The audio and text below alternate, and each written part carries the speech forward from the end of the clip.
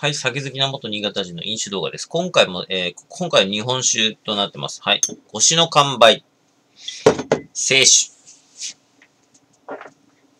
です。久々に、またしても、腰の完売を、ね、飲みましょう。まあ、あの、東京にも普通に売ってるんですよ、これ。うん。で、まあ、一番安い清酒のものです。アルコール度数が15%で、原材料名が、えー、米カッコ国産と米麹カッコ国産米と醸造アルコール。で、えー、こちらが、えー、っと、新潟市の江南区の、えー、石本酒造株式会社。うん。となっております。えー、720ml、えー、普通酒、白ラベル。え爽やかで力強く後口に跳ねるような抜群のキレをお楽しみいただける普通酒。晩酌の、えー、酒として地元で愛され続ける定番のお酒です。となっております。こちらは値段が、えー、1370円。で、えー、プラス税で購入いたしました。えっ、と、東京だと腰の完売はやっぱりちょっとあの、プレミア価格になってますね。うん。なんですけど、あのー俺が一番大好きなあのね、えー、八海山は逆になってないっていう、むしろ安く売ってるっていうね、感じになってるんですけど。多分定価ぐらいで売ってるんですよね。1.8リッターで、値段が、えー2100円ぐらい、税込み、税込み2100円ぐらいで売ってるっす。アマゾンより安いっすね。それでは、それでは。まあ、寒くなってきましたから。やはりね、カンピー。うん。うん、うん。甘い、甘い、うん、甘い、うん、甘いね。うん、甘い。甘、甘い、甘い甘い。甘い、甘い。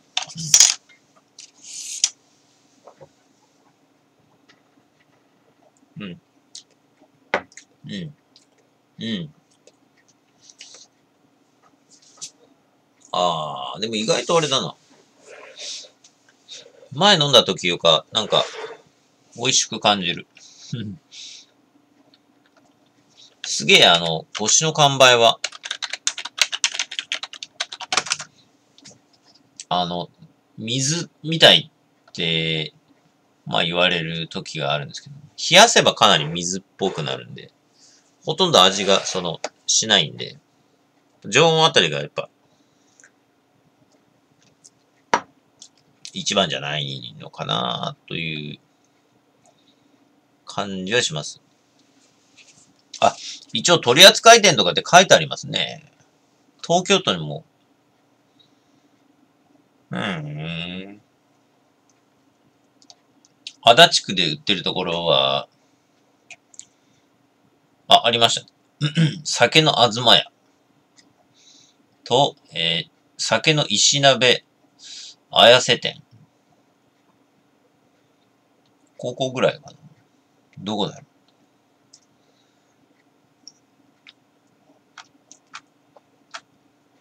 あー。ああ、むちゃくちゃ遠いですね。ここくそ遠いな、マジで。酒の石鍋あやせて。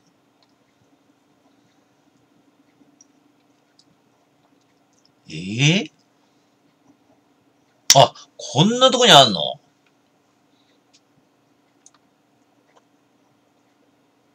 ええー、こんな、あ、ええー、ええー、こんなとこにさ、酒屋あったんだ。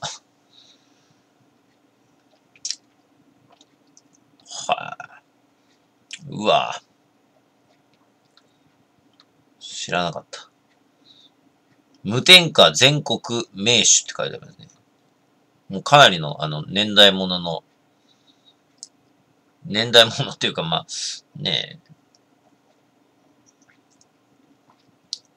まあ、さ、酒屋ってなかなか、大体年代に感じますよね。あ、こんなとこにあったんだ。これ、うん、近いですね。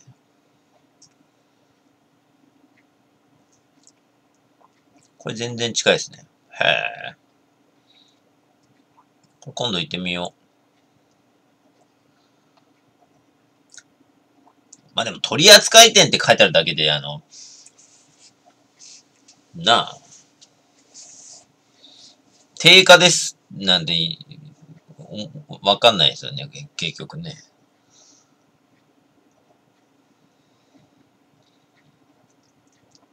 これちょっとメモっとこうかな。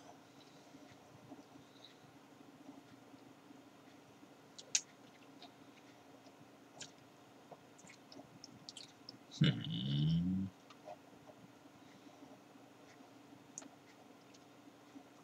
これは知らなかったですね。っとこれメモっとこうかな。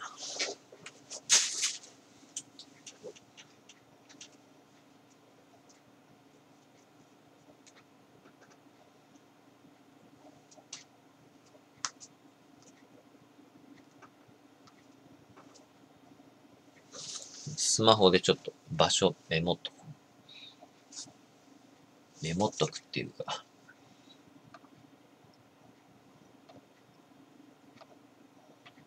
マップで。酒の石鍋。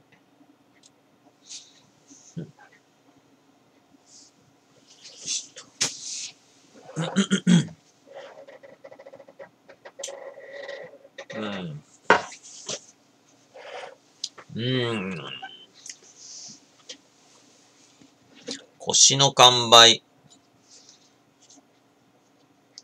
精米具合が、確か書いてない。精米具合書いてないっすね。腰の完売の精米具合は、うーんとっ、とっ、とっ、と、腰の完売についてと、石本酒造。うん。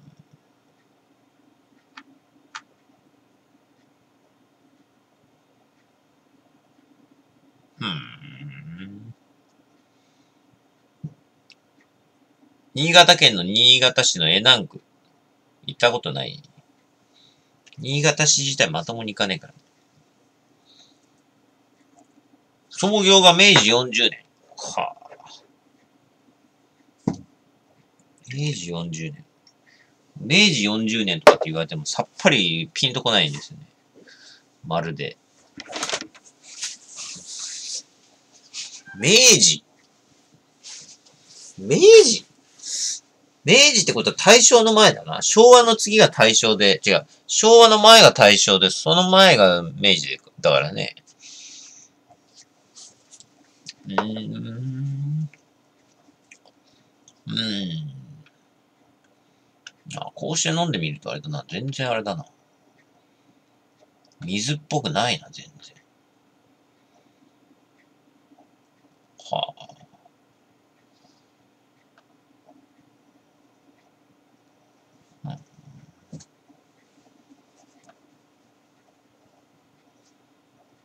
うん。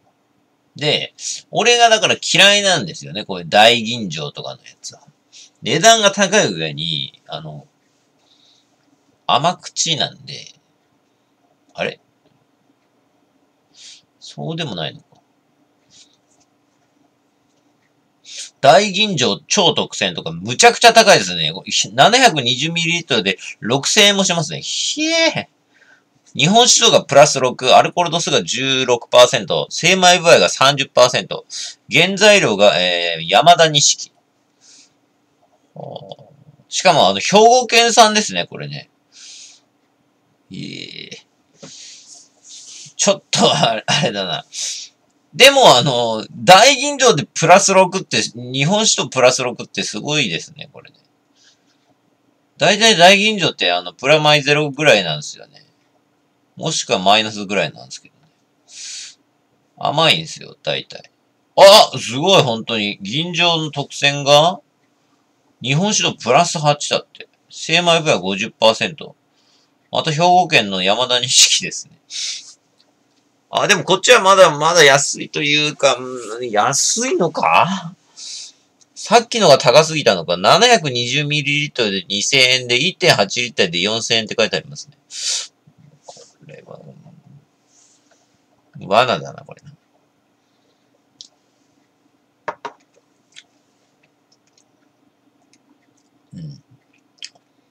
で、これの別線ってやつがあるん。ですが、銀状の別線。これも結構安いやつですね、これは。720ml で1210円。うん。日本酒度がプラス7。精米部は55%で、アルコール度数が16%。で、えー、原材料が、えー、500万石が新潟県のやつと、えー、山田錦が兵庫県の、えー、を混ぜてるっていう感じですかね。うん、びっくりだな。あの、銀城酒。純米酒。この純米酒も大嫌いなんですよ、これ。に、に、あの、日本酒の純米酒が嫌いなんですよね。ああ、これは。俺、俺のあの、俺嫌いなんですわ。純米酒。ああ米しか使ってないやつね。こっちは醸造アルコールって言ってのを使ってるんですけども。原材料が、あの、米しか使ってないってやつが俺、嫌いなんですよ。大嫌いなんですよ。ちなみにこちらの青春の普通種の、これが、えー、原材料が500万石過去新潟県のやつと、えー、その他。えー、で、精米部合が58%。うん。つまり42%削ったってことですね。アルコール度数が15%で、日本酒度がプラス6。となってまして、こちらの定価が 720ml だと960円となってます。税別なので960円プラス96円なんで、えー、1000、1050円ぐらいですかね。うん、1.8リターだと2030円となってます。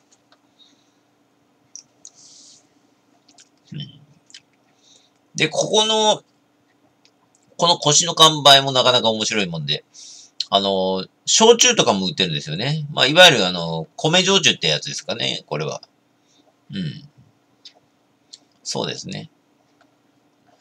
米焼酎。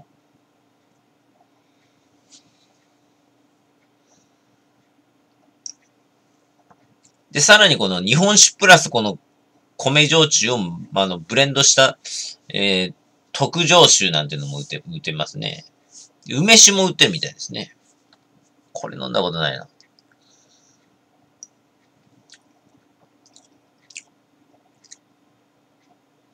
うわうわー、高えな。720ml で3500円。梅酒、高いね。うん、うん。6500円もその？720ml で、この特上、特上酒。一番高いんじゃないの？これ。もしかして。あ、そうでもない。6500円。おつ焼酎6500円。10年の古酒。同じっすね。そっか、このおつ焼酎がもう10年ものってことですよね、これね。か。だから高いのか。なるほどね。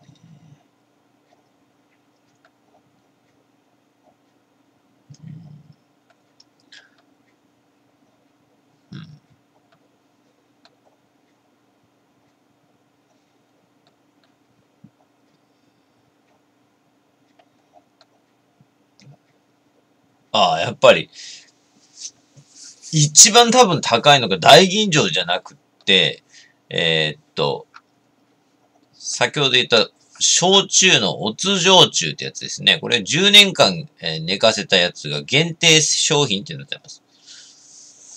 うん。で、もう一つあるんですけど、これは約5年熟成させた焼酎。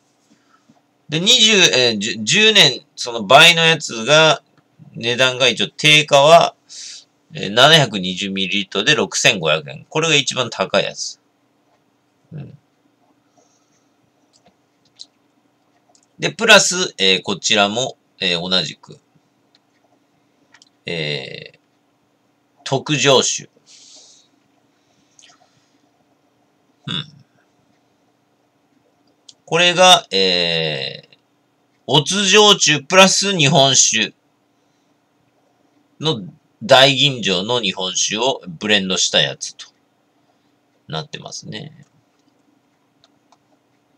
これが6500円になってます。うん。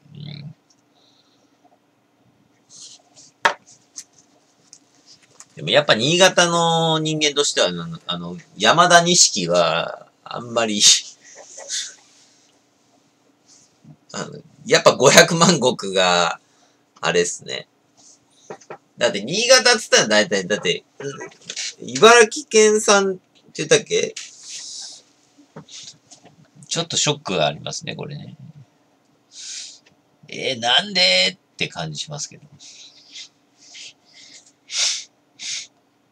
まあでも、それだけだから山田錦っていうのはすごいっていうことですよ。あ、兵庫県でしたね。兵庫県って言ったらもう、大阪の関西ですね。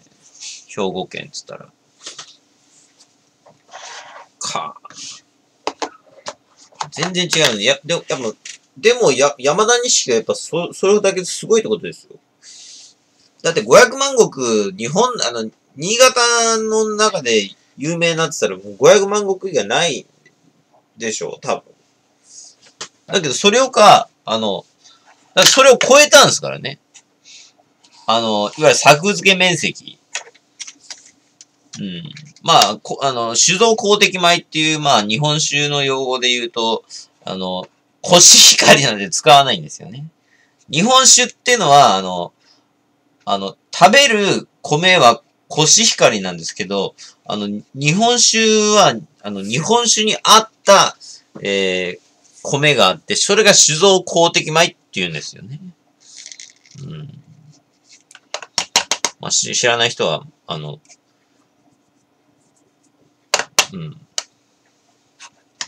まあ、学んでください。で、あと大体知られてないのが、あの、日本酒っていうのは日本酒度っていうのがあって、これ何度も俺の動画で言ってるんですけども、日本酒度何それって度数って言うんですけど、プラスマイナスで、えー、大体、あの 辛さとか、いわゆる甘口か辛口かの、あの、数値にしたものみたいなもんです。プラスがいく、いけばいくほど、えー、辛口。で、マイナスに行けば行くほど甘口ということになってます。で新潟の中で、え一番、えー、甘口なのは、えー、っと、雪中梅ですね。新潟の、あの、日本酒で。雪中梅は俺甘口なんで嫌いなんですよ、雪中梅。あれ美味しくないです。甘い。うん。で、大体の場合、えー、ぎ、えっ、ー、と、大吟醸とかになると、えー、あの、甘くなるっていう、甘くなるんですよ。うん。で、大体やっぱり一番の辛口の普通酒っていう一番安いやつが、あの大体辛口が一番強いっていうパターンが多いです。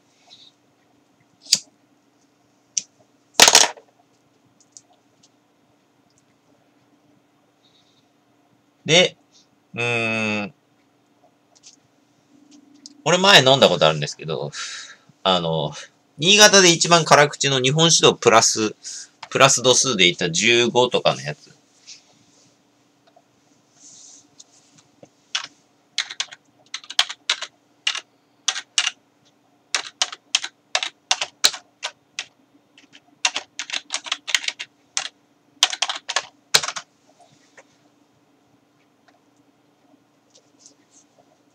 これ前飲みましたね。いろいろ、俺。超辛口。えー、っと、腰の影虎ですかね。うん。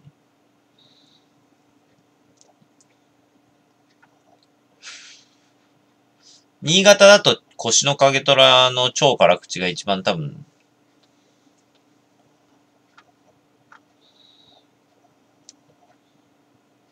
うん、日本酒のプラス20とか、うん。プラス15とかになると、超辛口。うん。一番高いのはプラス20とかですね、多分。うん。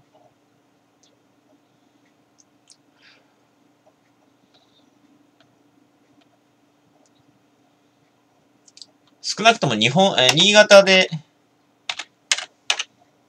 一番辛口なのは腰の影虎の超辛口だとは思うんですけども、うん。日本酒ではプラス15らしいですね。えー、諸橋酒造をはじめ、新潟県内でも最も辛口の酒の一つと書いてあります。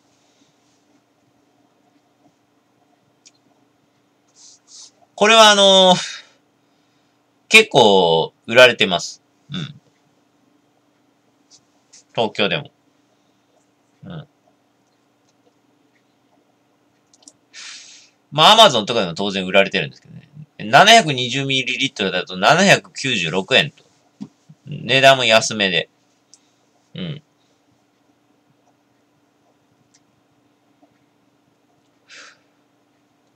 えー、技術、仕込み水、えー、厳選された、えー、現在、原料米によって生み出されたこの酒は味のバランスが良く美味しく飲めますって書いてます。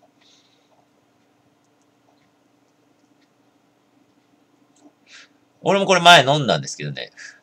腰の影虎自体は美味しいんですけどね。これ超辛口はあんまり個人的に美味しくはない。だから何事もほどほどがいいっていうパターンですね。うん、パティーンですね。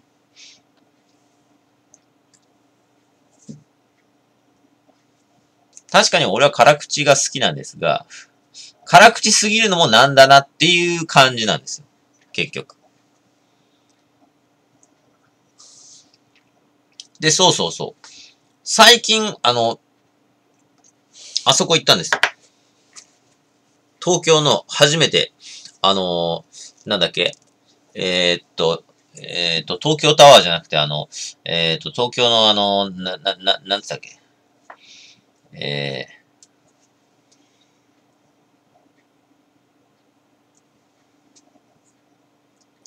ー、ごめん、忘れた。あれなんだっけ？なんとかタワー。ああな、なんつったっけ？忘れた。ああそこ行ったんすよ。チャリン、チャリンコで。ああ、初めて行ったわ。そしたらね、びっくりすることにね、あ、あのね、びっくりしましたね。なんとね、なんと、そこの、あの、売店みたいなのがあって、えー、八海山の、その、八海山の底でしか売ってないパターンのやつと、なぜか、対照的に、ドマイナーな、まあどっちも新潟のあの日本酒なんですけど、キリン山が売ってる、売ってたんですね。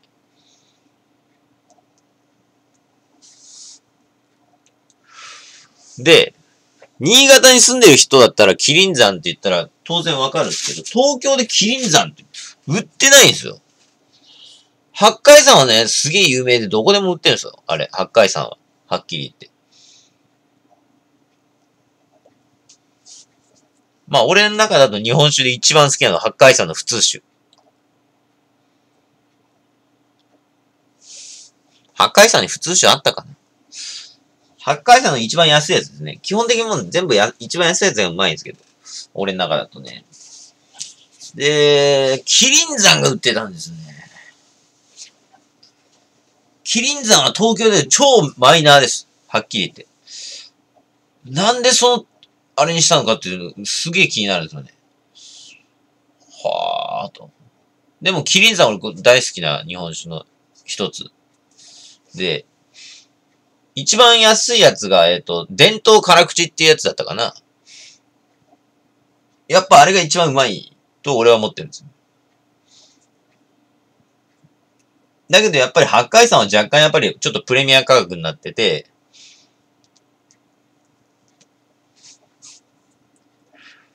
るんです。うん。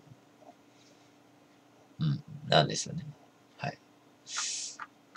で、腰の影虎も美味しいんですよ、普通の。うん。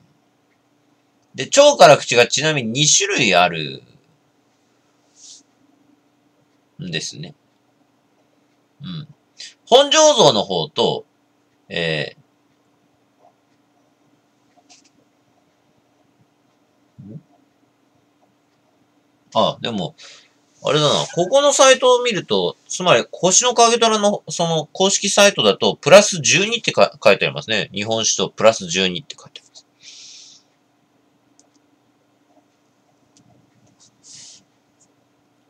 へえ。本醸造酒と多分普通酒の、えー、から、超辛口。うん。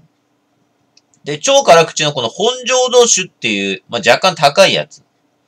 720ml で税抜きで971円のやつが、超軟水の仕込み水は辛口酒に向く。昔から伝えられてきたことが実証されたお酒ですと。日本酒度がプラス12もありながら、実際に口にすると辛くは感じず甘いとおっしゃる方さえいます。書いてあります。ちょっと僕も、そのあの、味覚えてないんで、腰の影虎の超辛口はちょっと今度また飲んでみようかなと思います。うん。で、一般的に、えー、一番この腰の影虎で一番安いやつ。まあ普通酒。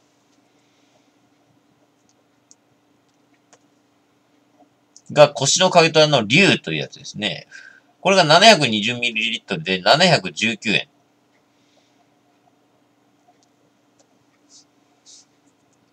普段晩酌で飲んでいただく酒だからこそ手が抜けないのが晩酌酒です。それなんですよ。だから、こ、こ、こなんですよ。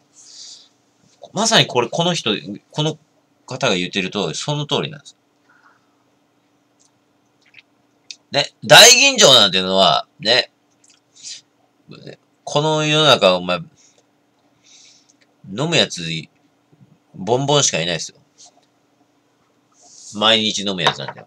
ボンボン、ボンボンぐらい。ちょっと、ちょっと缶にしましょう、これ。か、缶にね。熱缶ではなく、若干ちょっと缶、缶ぐらい。30秒ぐらい。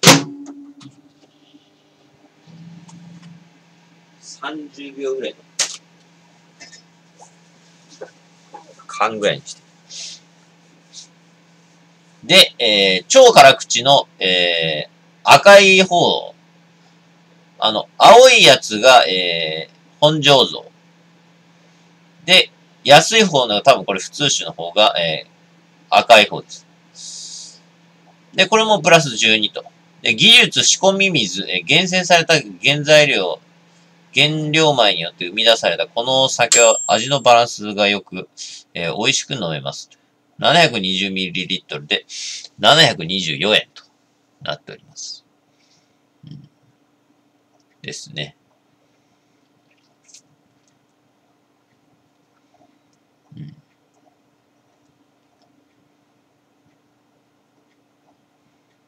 うん。って感じっすかね。はい。うんで、この腰の影虎は、あの、日本酒だけではなくて、あの、梅酒も売ってる。これも前飲んだんだよね、確か。梅酒ね。うん。星の影と。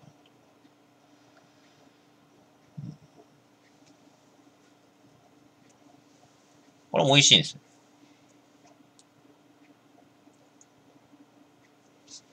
で、あとは、だから、そうですね、キリン山。これがだから、あの、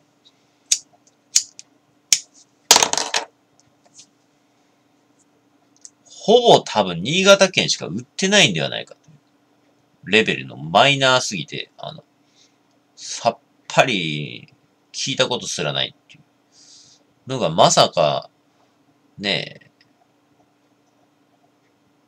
あれ、な、何タワーだっけ？忘れましたね。えー、っと、キリン山の伝辛というやつ、伝統辛口の略ですね。これがあの、アルコール度数が15%で、えー、日本酒度がプラス5となってて、1.8リッターで2002円。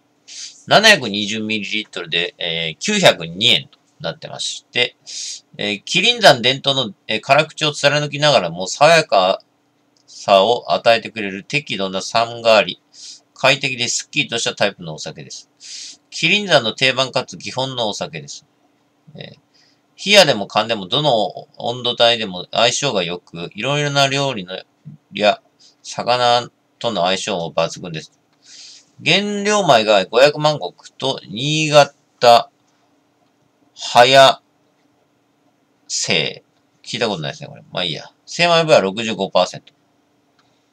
35%削ってます。という感じでしょうか。これが多分一番、キリン山の中では一番安いやつですね。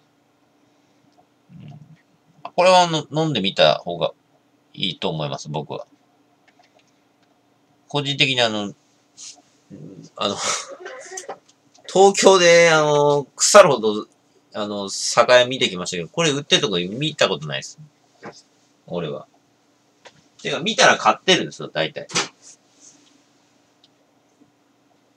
見たら買ってるんで、あの、だから売ってないってわかるんですよ。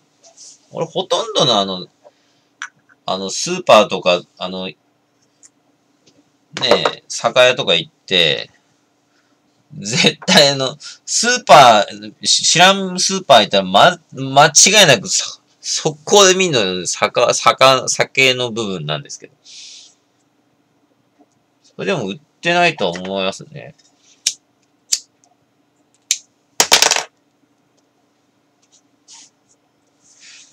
うん。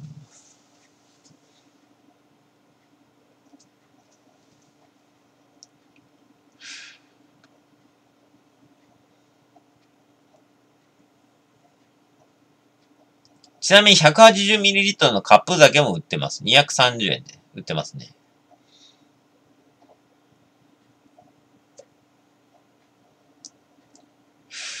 ちなみにこちらの、えー、キリン山は、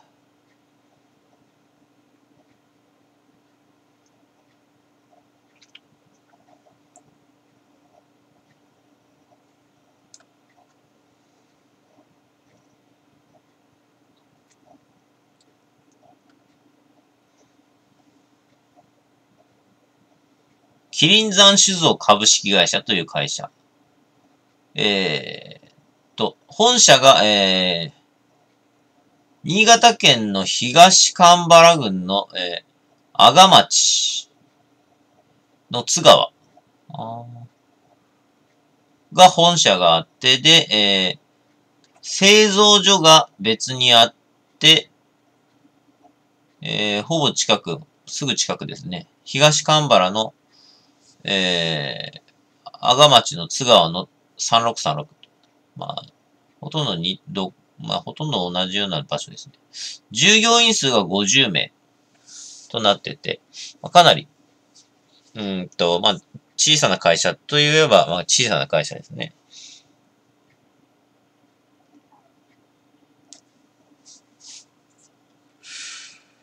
なるほど、なるほど。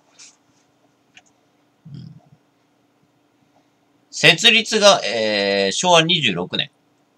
創業は、えー、1843年。天保14年って書いてある。さっぱりわからない。天保ってなんだレベル。明治ですらない。1800、1843年だから、100、200、180年ぐらい続いてる会社ってことになります。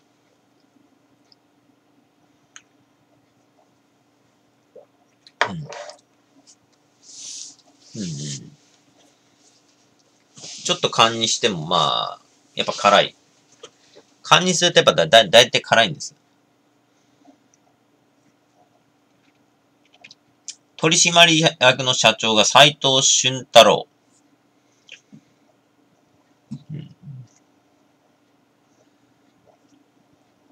こう言っちゃ悪いんですけども、あの180年近く続いていて、それなのに、えー、従業員数がたったの50名ということ。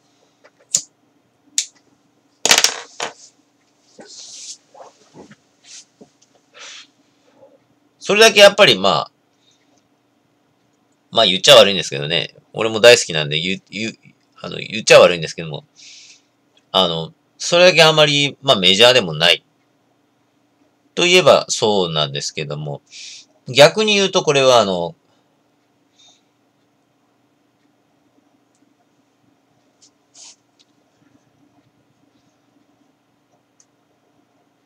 うーん。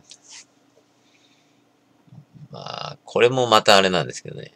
厳選に厳選を重ねた、あの、従業員だけ残っているっていうパターンも考えられます。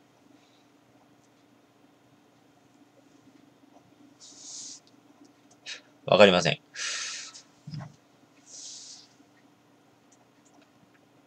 うん。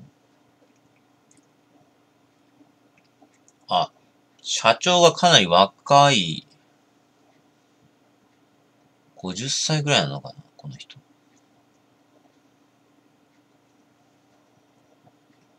あ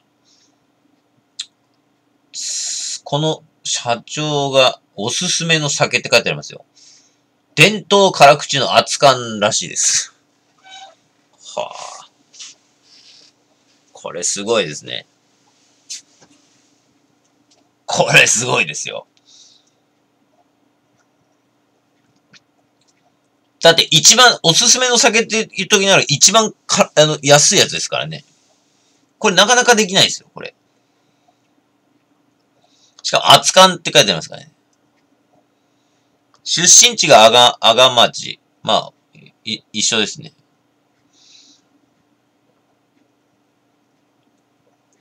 えー、美味しい評判のお酒を、えー、お店を聞けばどこでも行きたくなる食いしん坊。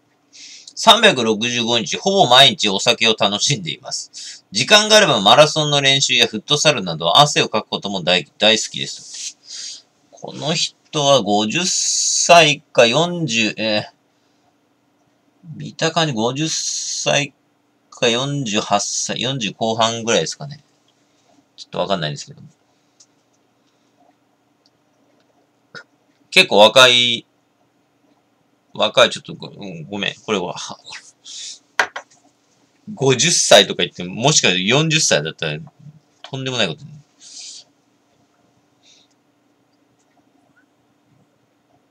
でも若いですね。うん。かなり若い。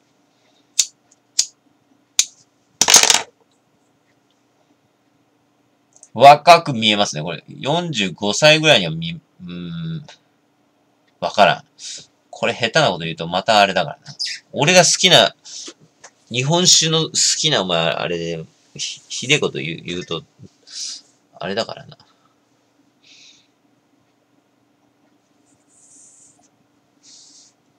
下手なこと言って、あれだな。でも、すごい好きなんですよ、だから。ここの、キリン山。だから、キリン山の中でやっぱ一番うまいのってこれなんですよ。この伝統辛口一番安いやつ、普通酒なんですよ。これがだからすごいな。しかも全部、これ従業員全部書いてあるぜ。マジで ?50 人全部書いてあるんだけど、笑、笑えるん？これすごいな。全部書いてありますよ、名前。ホームページに、公式サイトに。うっそ、マジで ?3、6、9、10。3、6、9、12。全部書いてありますね。すげえな。やっぱり、もう、これ多分全員正社員とかでしょ？おそらく。これは。全部書いてありますよ。名前も、すべて。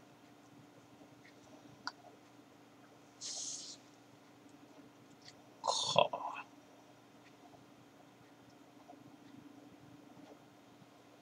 しかも可愛い女の子いますね。はあ。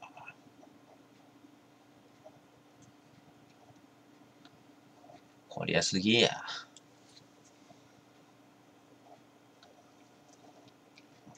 ここでお前あれだぞ。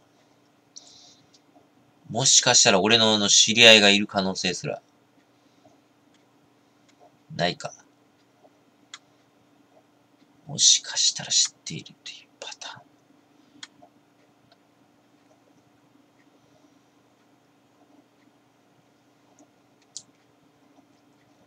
もしかすると、俺のあの、同じ高校とかね、高校ちゃうわ。あの、まあ、まあ、高校というか学校とかの出身の人もいる可能性もありますね、これね。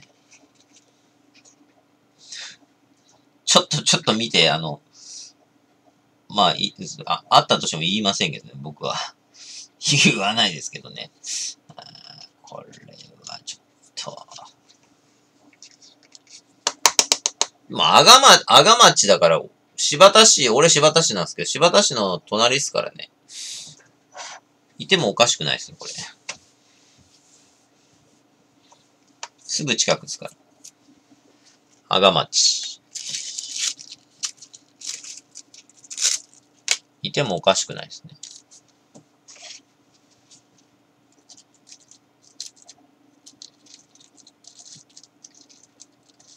俺のクラスメイトとか、知ってるクラスメイトいたりする。パティーンあるかもしれない。まあ、ないか。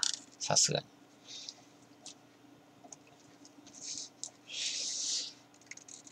うん。でもやっぱここまでってことはもう、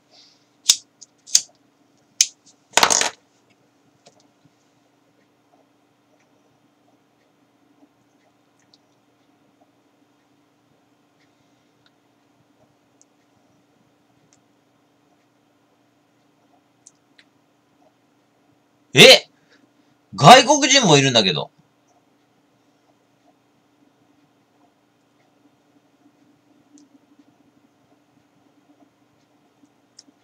カプラン・ザッカリーっていう、アメリカ出身の人もいますね。はあ。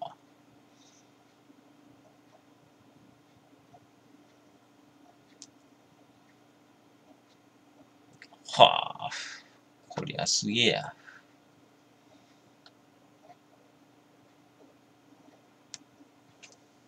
でもやっぱり、あの、この麒麟山酒造の一押しはやっぱり、一番この安い、その、社長も、ね、一押しの、い、いつもの麒麟山。麒麟山殿からですかね。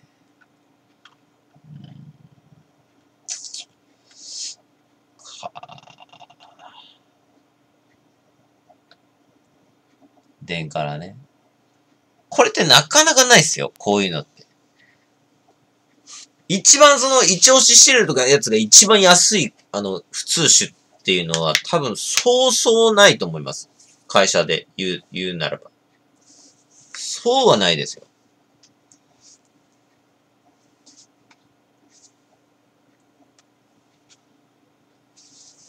だって普通さ、おすすめすんだったら大吟醸とか言う、言うべ。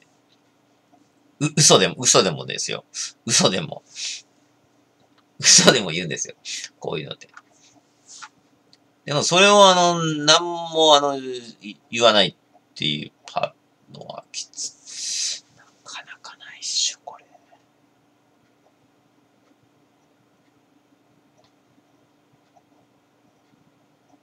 あ、そっか。はは。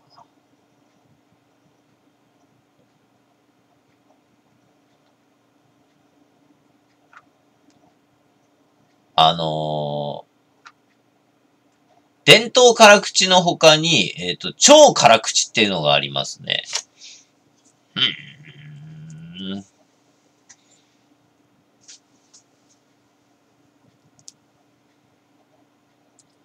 すっきりとした抜群のキレで飲み飽きしない口当たりは、えー、新潟名物の鶏の半身揚げ焼肉とも好相性。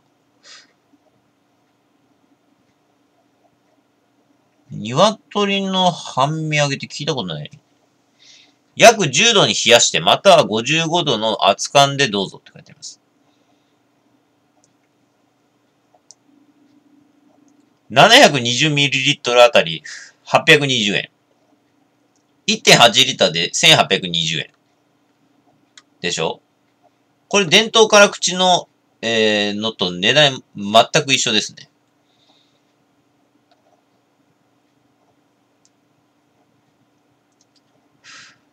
はあ。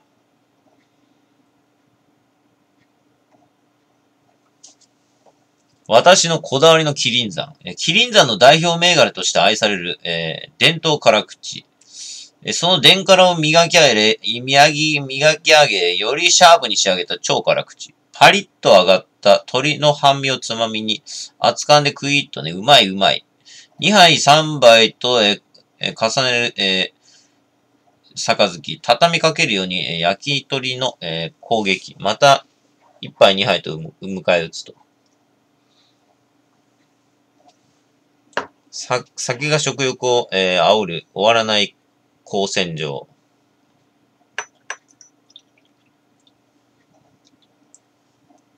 そして夜は更けていく。百聞は一因にしかず。男は黙って蝶から口。えー、常務取締役営業部長。し、し、し原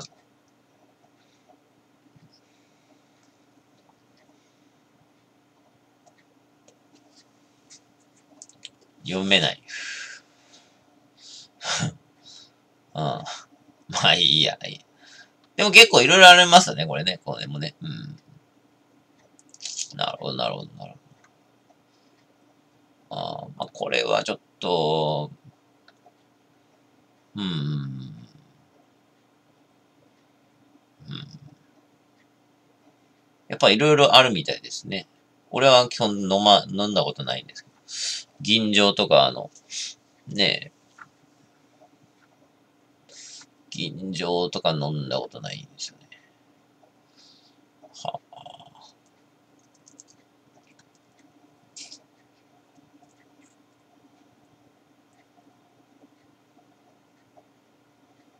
はあ。なるほど。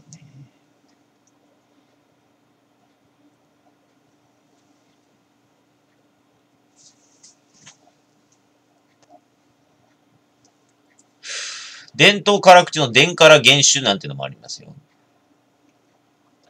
伝統辛口のスッキリとした味わいと綺麗の良さを、えー、そのままにインパクトのある原種でおおお楽しみいただける限定種です。冷やしてストレートをロックでお飲みいただくのがおすすめです。720ml で980円。うん。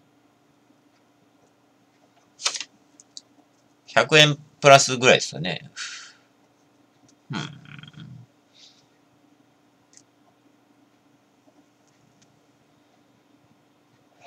原料米が500万石、えー、精米部合65%。かけ米が腰吹き、精米部合65%。で、アルコール度数が21度以上、20度、22度未満。と、まあ、えー、アルコール度数が強めの。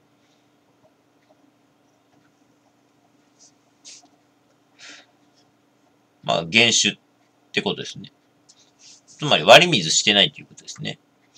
うんうわ、すげえ、なんだこれ。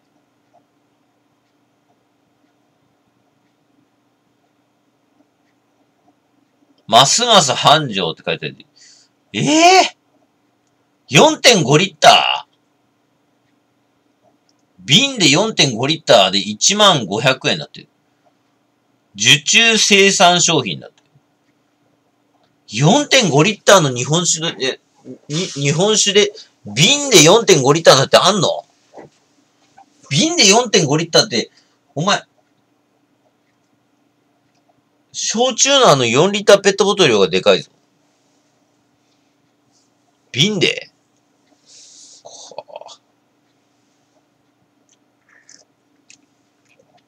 そんな瓶見たことねえ。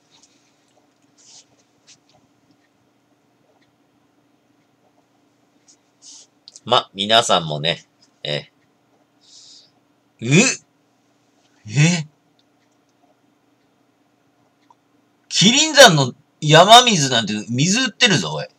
2リッター250円。嘘すげえな、これ。これ割り水だろ、これ。割り水、こので、でん、あ、原子をこれ割り、割り水したやつでしょ、これ多分。この水はブナの原生林を有する、えー、なんとかかんとか系から流れ出る、えー、上なんとかかんとか伏流水で、キリン山の追求する、えー、辛口、丹麗辛口の酒造りに、えー、大変適した柔らかな水です。飲酒の合間に飲むことにより、口内がリフレッシュされ、次のお,、えー、お料理やお酒を美味しく召し上がることができ、えー、深酒も防いでくれる安らぎ水にぴったりの水ですって書いてます。2リッター250円。500ミリリットル、えー、150円って書いてます。はあ、これ見たことないわ、こんなもん。はい。はあ。キリン山の奈良漬けなんてのもあるぞ。奈良漬け。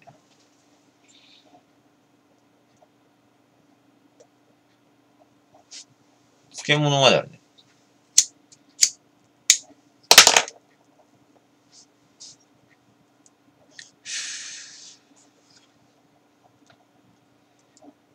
あ、あの、あの、一つ言っていいですか？あの、キリン山、キリン山酒造の方、ね、これもし見ているのであれば、えー、オファーお待ちしております。ちなみにアマゾンだと、ぼったくりじゃねえか、これ。いや、ぼったくりでもねえか。あー。アマゾンまでってこと、売ってねえもんだから、普通に。東京に売ってねえんだから。まず。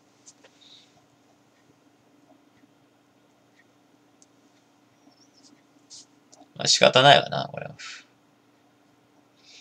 アマゾンだとこの電からの1.8リッターの一升瓶だと1490円で売ってます。うん。キャッシュレス払いだと5%還元されるということになってます。うん。これはだから、あのー、そうだね。で、ちなみにさっき言ったあの、超辛口のキリンザも売ってます。えー、値段が1365円。720ml で、えー、1365円と。皆さん、えー、お飲みになってはいかがでしょうか。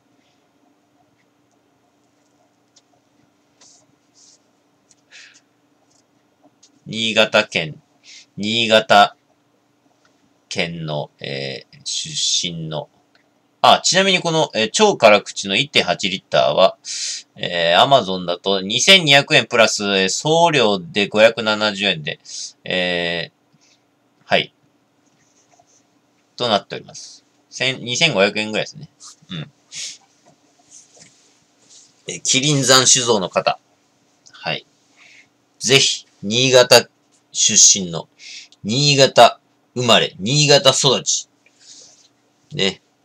そして、えー、柴田市出身です。隣ですよ。ね。ぜひ、オファーお待ちしております。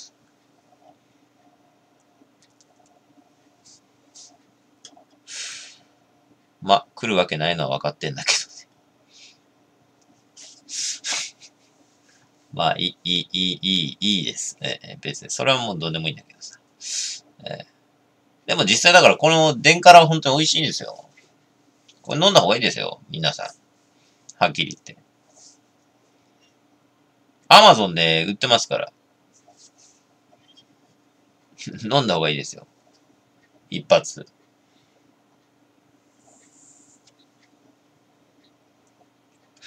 そうだね。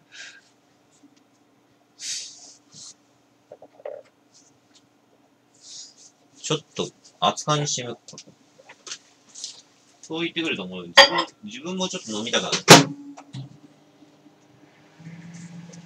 俺自体も飲みたくなってくんだよね。これな。参ったね。さらに言うと、腰の影虎の超辛口もちょっと飲みたくなってきたね。腰の影虎の超辛口は、えー、一升瓶で2340円となってます。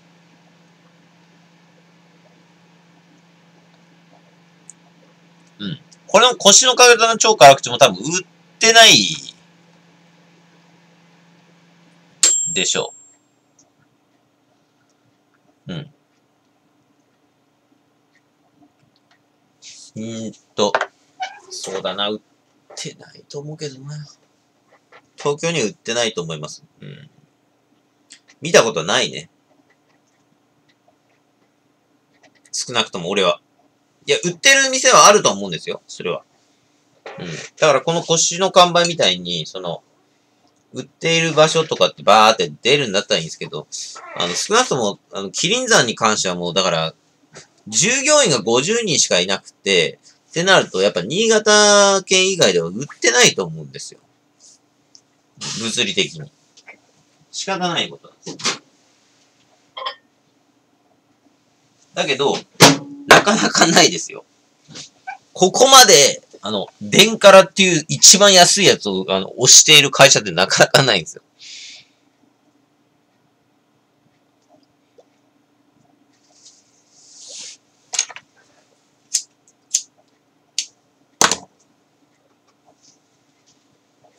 でも良かったっすね。あの、東京タワーじゃなくて、な、なんつったっけな、あれな。あそこでだって売ってますからね。びっくりしたんですよ。だから、はぁと思ったんですよ。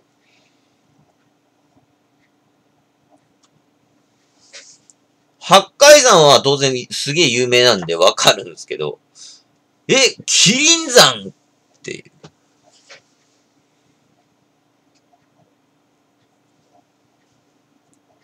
え？キリン山売ってんの？っていう。知らん人、腐るほどいますよ。キリン山。え？何これ？だって俺あの、あの、これ値段、あの、教えてもらえませんか？って聞いたら、え、っと、八海山とキリン山ですかね？って言ったからね。あの従業員の人。いや、キリン山です。僕言ったんですけど。で、結局あの、なんかあの、値段は、あの、具体的になんかわかんなかったとかって言われて、ね。で、あの、上の階と下の階に、あの、売店があるんで、そこ行って確認した方がいいですって言われて、そこ行こうとしたら、あの、エレベーターでその階は止まりませんって言われて、はってなって、じゃあエスカレーターで行こうとしたらエスカレーター止ま、あの、封鎖されてんのよ。多分、10時とかから開店だから多分それで止まんねえっていうことなんだろうけどね。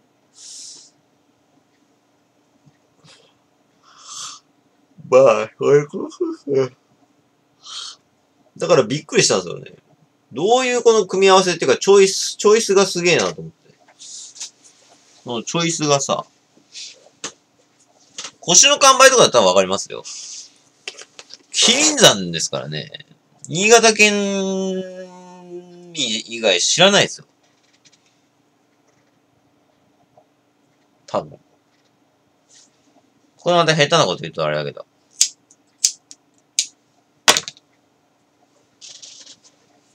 新潟県民ぐらいしか知らないですよ。キリン山って。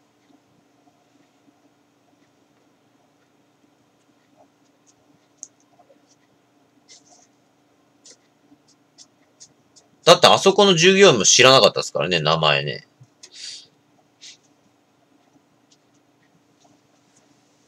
名前知らなかったですからね。キリン山ですかね？って俺に聞いてきたからね。いや、キリン山ですって。あっつ、あっつ、これ、あっつ。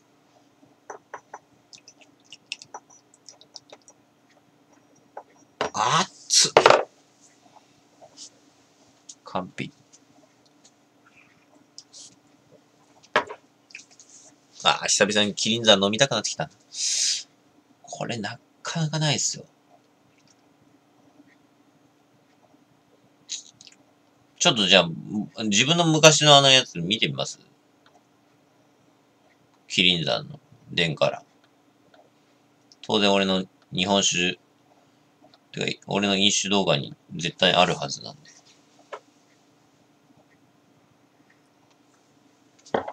自分で自分のあの、あれを見れる、見、見るっていう。これがだから一番あの、助かるんですよ。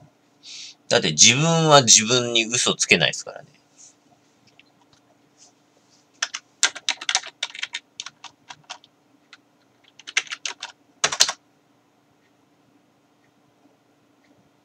うん、ありましたね。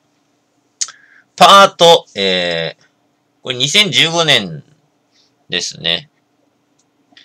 原酒も飲んでますね。日本、えー、っと、2015年の1月の22日にキリン山の、えー、電から飲んでますね。パート813。で、879で、えー、2015年の4月の16日に、えー、っと、原酒の方も飲んでます。さて。ま、えー、うえおすすめ度3って書いてる。うっそー。おかしいな。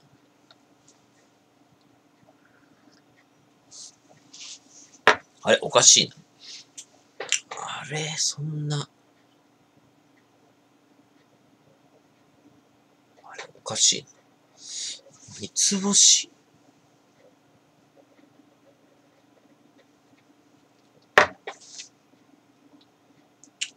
あれ俺うまいと思って飲んだはずなんだけどな。あれ気のせいか。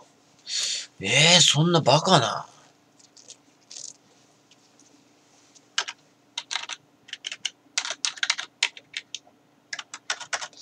そう。で、ちなみに原種の方は、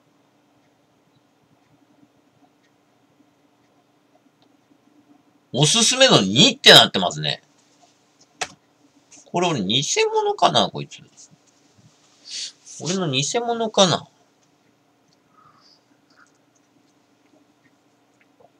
俺の偽物かもしんないな、これ。あれ、おかしいな。あれ、なんでだ？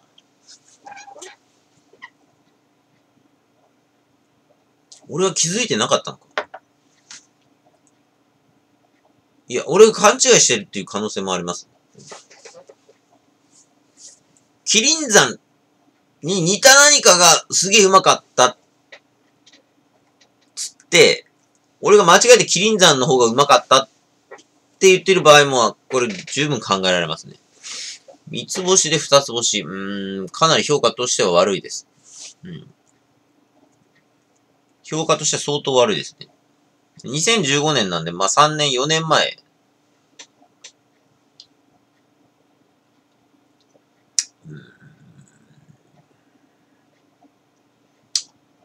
キリン山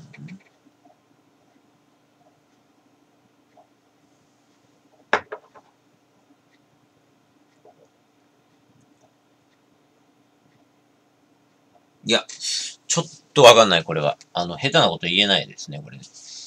おかしいな新潟の。新潟の日本酒だから、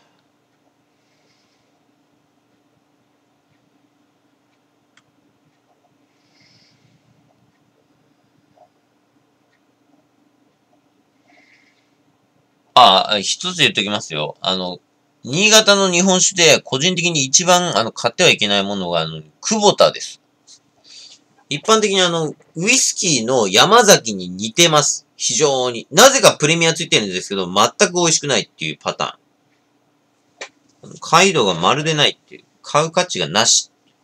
レベルの。クソです。あの、なぜプレミアについて何ていうのかさっぱりわからないんですよ。僕としては。まるで。うん。ここだけはもうた、叩かせていただきましょう。あの、ウイスキーの山崎、サントリーの山崎と一緒です。はっきり言って買う価値は1ミリもない。なぜか、あの、一人歩きして、あの、ブランドだけがなぜか一人歩きしてるっていうパターン。うん。パティーンです。で、腰の完売は、あの、あのー、俺は結構好きなんですけれども。うん。でもやっぱ腰の看板もやっぱりあの名前が一人歩きしてて、あのー、すげえ、あの、まあ、プレミア価格ついてるっていうのはもう間違いないんです。うん。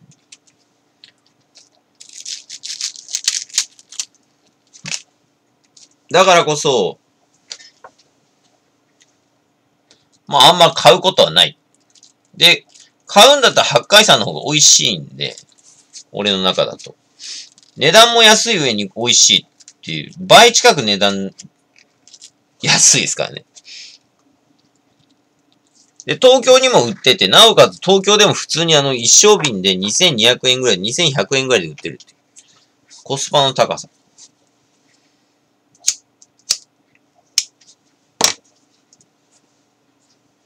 はっきり言ってあの、ひどい。うん。ですね。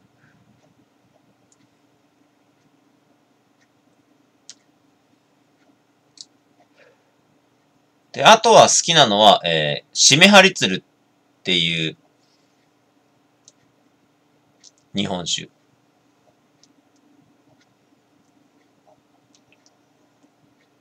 これも非常に美味しい。うん。で、えー、東京にも売ってます。うん。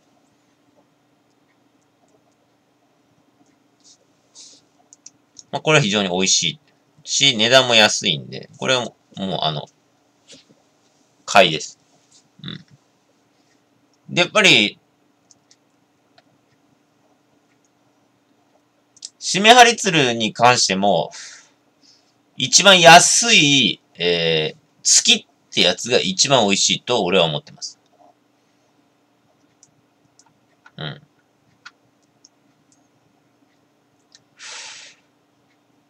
でもこれは、えー、一番安いんですが、本醸造酒となってます。つまり普通酒ではないんです。締め張り鶴で普通酒はないんですね。精米部合が、えー、麹が55%、かけ米が60%。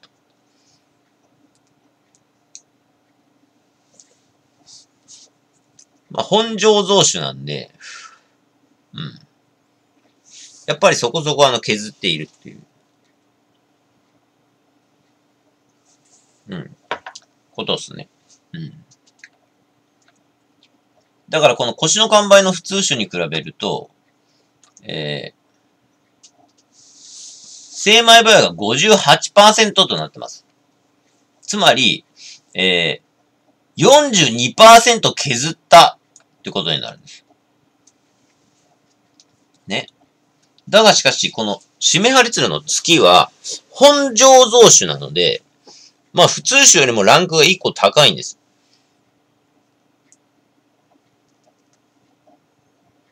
だからこそ麹が、えー、55%。つまり45%削ってます。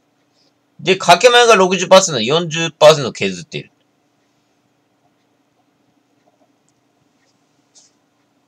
で、掛け前と麹とかでようわからないですけど、まあ、よくわかりません。はい。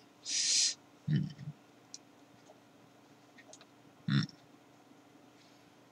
でも、あれなんだよな。腰の看板に関しては、あの、麹とかって書いてないんですよね。精米部合しか書いてないですよ。掛け米と、あの、麹とかっていうのも書いてないんで、ちょっとよくわかんないですよね、これは。さっぱり、ちょっと知らん。うん、一般的にだから、あの、大吟醸酒っていうのも、ものすごい削ってて、精米部合が30%とか、40%とか、35%とかそこら辺がまあ大体。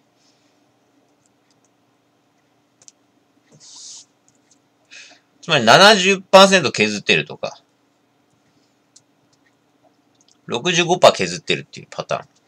だから米は一番真ん中が甘いんですよ。だからそれをバーって削って、そこの部分だけ使う。だからあの、甘くな、甘口になりやすいんです。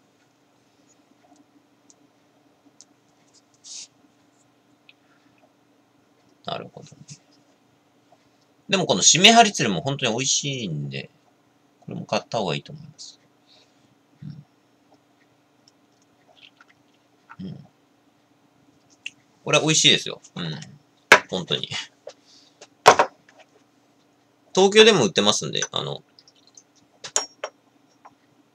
ぜひ飲んでみた方がいいと思います。だから、えー、そうですね、東京でも売ってて、新潟で有名なお酒、日本酒ってなると、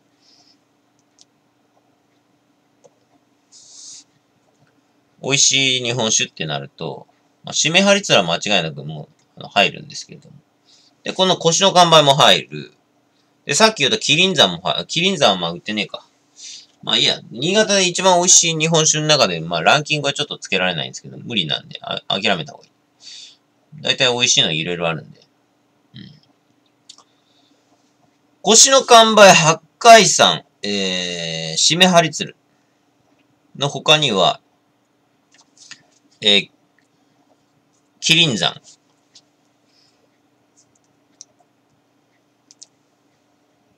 腰の影虎、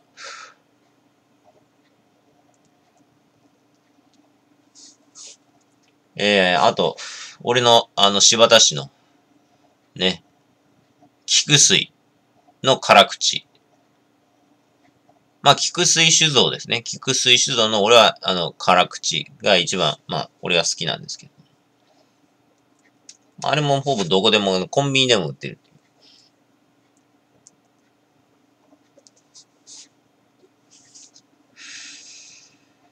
そうですね。あとは、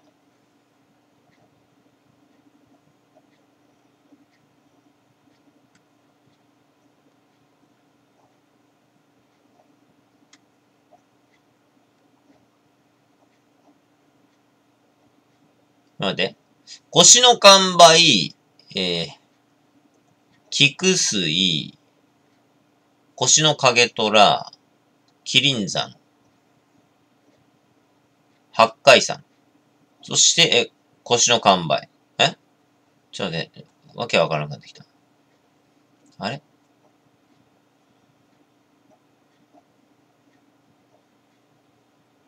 ちょ、ちょっと待って、ちょっと待って。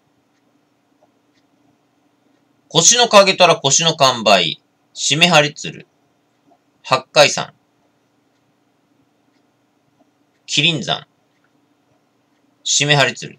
まずこれで 6, 6個出てますよね。6個。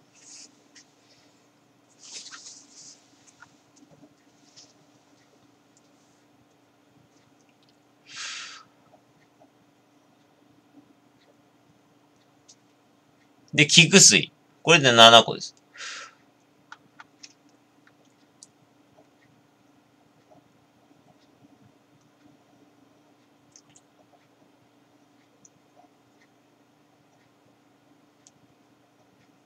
あ、あと、越後桜。これもおすすめ。うん。これも結構売られてる。多分東京でも結構売られてる。これで8個目でしょ。うん。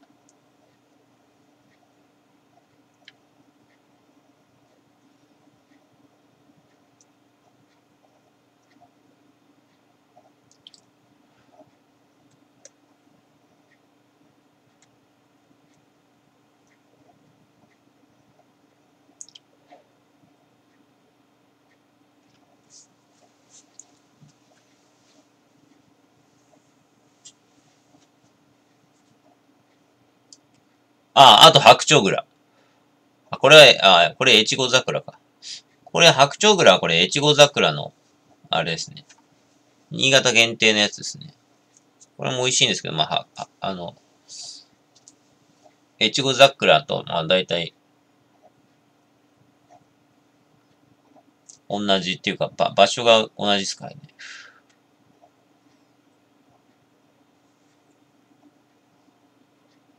うん、あと、金ます。まあ、金ます。まあ、金ますも美味しいわ。金ます酒造、まあ、美味しい。まあ、うん。まあ、でも微妙だな。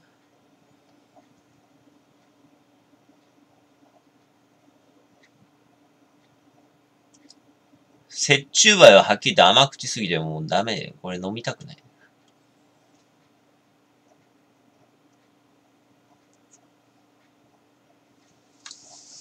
あ、キリン？あ、キリンだったかもしんない。キリン山じゃなくてキリンか？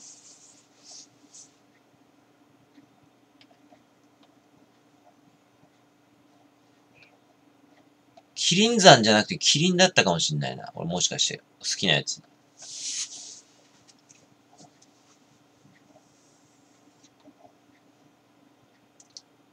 キリンだったかもしんないよ、これ。そうか、キリンの、ああ、キリンっていうあれもあったんだっけ？これ、キリン山をしといてキリンだったっていうパテーンあるぞ。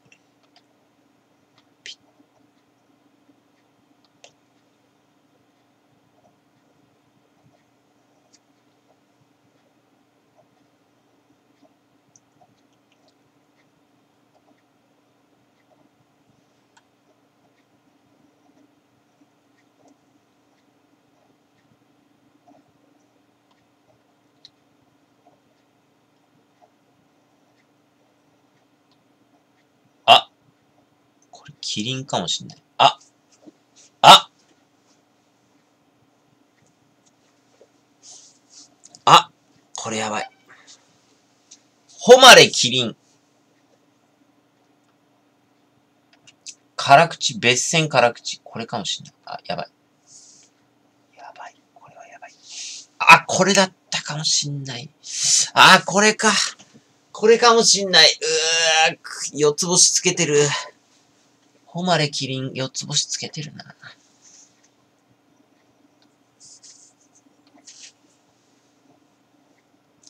誉れキリン。よし。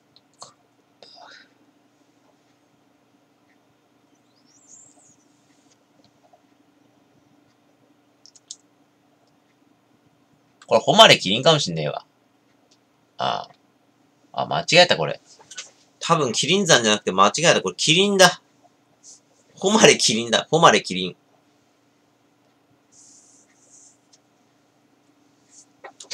誉れキリンです。多分。やらかしたな、これ。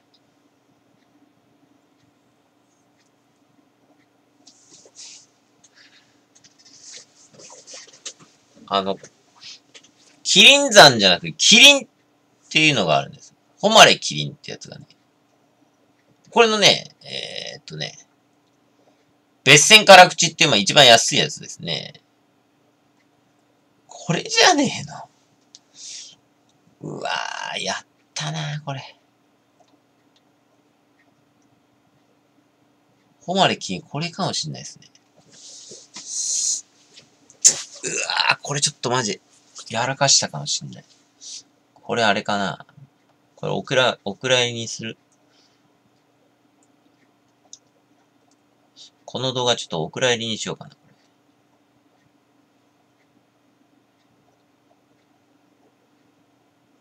な。ん？なんだこれ？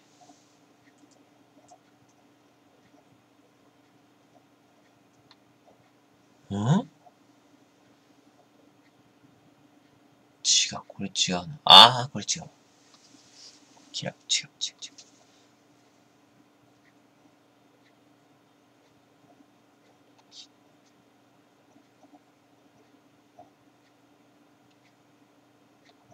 うん。やっぱ、えー、キリンの、誉れキリンは、別線辛口って一番安いやつが、えー、四つ星つけてますね。これかもしんないですね。うん。まあ、これから、あのー、冬ですから。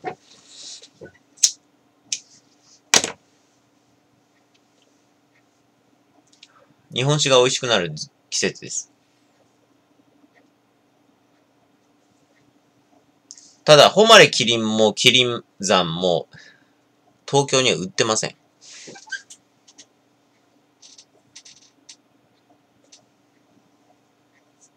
残念ながら。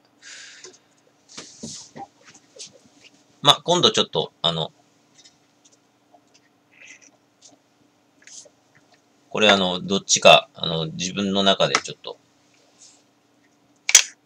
あれしないといけないんで、今度変えましょう。ホマレキリン、ちょっと Amazon でちょっとググってみましょうか。ホマレキリン。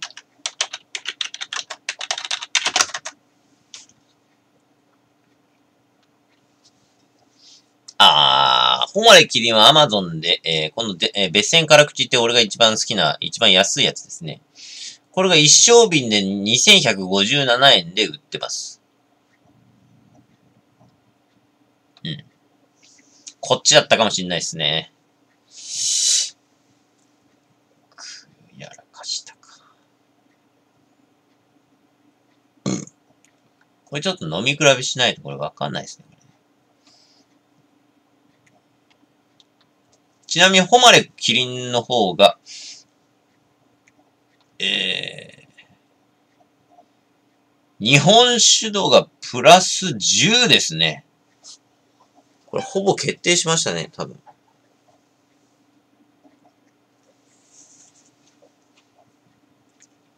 これ、加越酒造株式会社。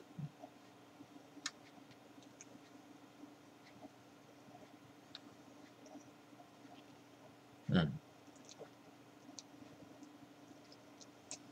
これだな、多分。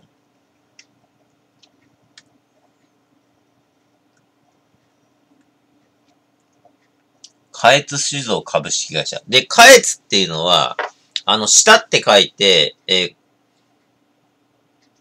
え、え、こ、超えるって書く、あの、越っていうのは、超えるって書く、超えるって書くのかななんて言うんですかね。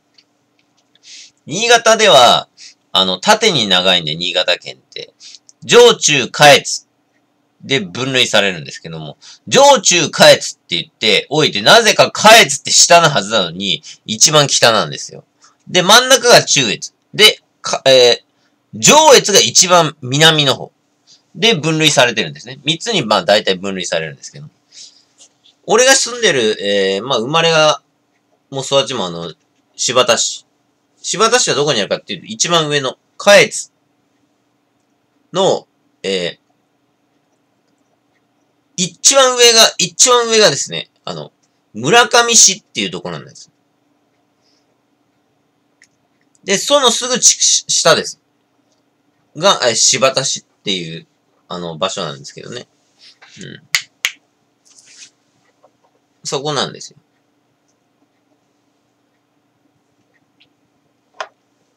で、さらにぶっちゃけて言っちゃうと、あの、もともとは、あれ、柴田市じゃなかったんですね。俺の地区は。これ以上言うと、まあ、俺のあの、あれになるんで、あの、昔は柴田市じゃなかったんですね。えー、合併したんです。昔、10年か20年ぐらい前。10年だな。10年前ぐらいか。柴田市に合併されたんです。いわゆる、ブワーンと全部、ブワーンと柴田市になっちゃったわけです。だからそれまでは、あの、クソみたいに長ったらしい、あの、住所だったんですけど、あの、それが省略できたんで、すげえ楽になったんですよ。ね。新潟県柴田市。で終わりだぞ。だから、新潟県柴田市、あの、あれ俺、俺、あれ？俺自分の住所は何だったっけな？新潟県柴田市の、そうですね。もうそこで、そこからもう番地になってたんです。番地。ま、ま、まあまあまあまあね。それ。だからすげえ楽になったっすよ。めっちゃ短縮されたんで。今までクッソみたいな長いバカみたいな、あの、いちいち書くのかったるいんですけど、まあ今もそうなんですけどね。今のこの足立区もそうなんですけど、まあ、それよりかよ、よっぽどすげえ簡単なんですよ。もう、恐ろしいほどの字数長かったんで。しかも誰も読めねえだろっていうレベルの。なんて書いてあるのこれっていう。そもそも柴田ですら読めないんですよ、普通。新しいって書いて、初って書いて、単語の他で、柴田って読むの無茶があるんです。えー、人、人抜、新、はった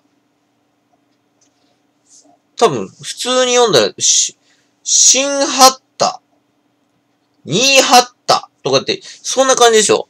それ柴田って読むんですよね。無茶ですよ。無理なんですよ。無茶はあるんですよ。だから、そういうことなんです。昔はくっそ長ったらしいバカみたいな。誰も読めねえんだよ、あれ。俺らじゃ、じゃじゃないと読めねえんだよ。あんなもん。他県の、他県の人間なんて絶対読めないですよ。絶対。絶対読めないような、そもそも柴田市ですら読めないのに、ね、そういうのあるじゃ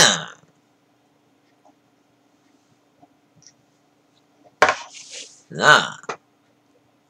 こっちに来てからビビりましたね。びっくりしましたね。なぜか、なぜかですよ。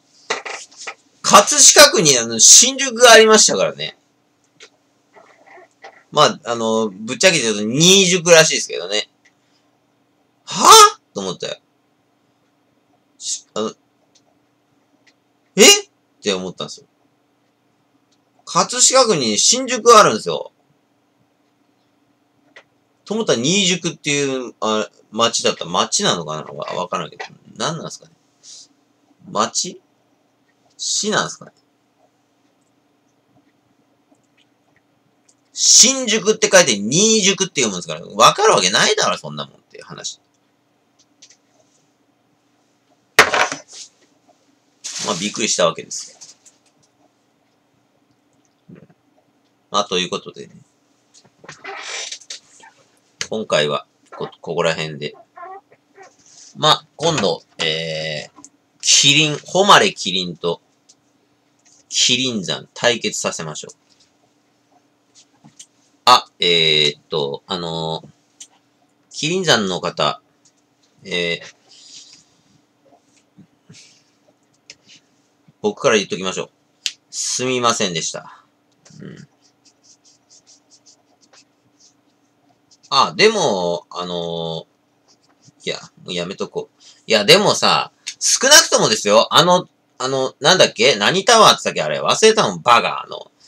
あの、くそ忘れた。完全に忘れた。あれ何タワー？レレインボーブリッジじゃなくて何タワーだっけな？あれな。東京タワーでもねえしな。なんだっけなあれな。えー、忘れたな。俺の兄貴がね、あの、旅行が趣味みたいで、あの、あそこまで行って、の、登りましたからね。あれ値段すげえかかるんですよ、あれ。3000円かかるんですよ。一番高いとこまで行くと3000円かかるんですよ。まあ、俺あのー、えー、精神障害者手帳持ってるんで、あの、半額になって1500円ぐらいなんですけどね。甘みさん。酸味。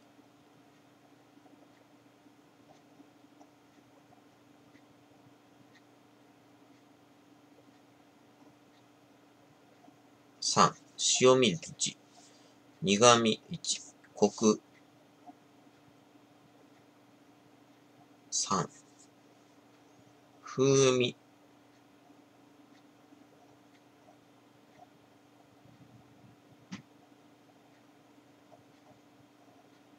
3、海度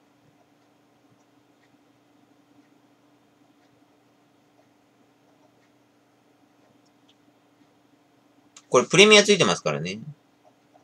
そこで考えるとやっぱ3ぐらいだかな。